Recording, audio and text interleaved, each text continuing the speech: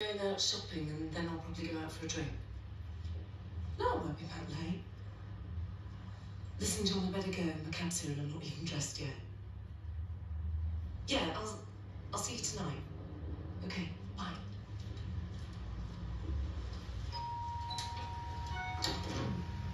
Streetcars. That's right, love. Sorry, I'm not quite ready for you. Oh, uh, don't apologise on my account. Well, I just need to pop upstairs for a minute, if that's okay.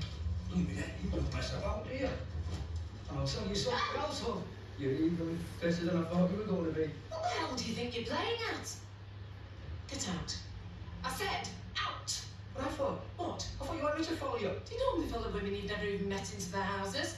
No. I called man to call the police. Oh, I'm sorry, I thought. What? I thought, you know, you... What?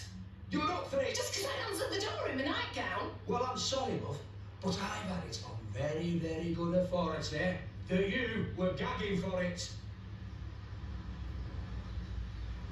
And, um... Who told you that? It was someone out at the cab office. Oh, did you know? Oh,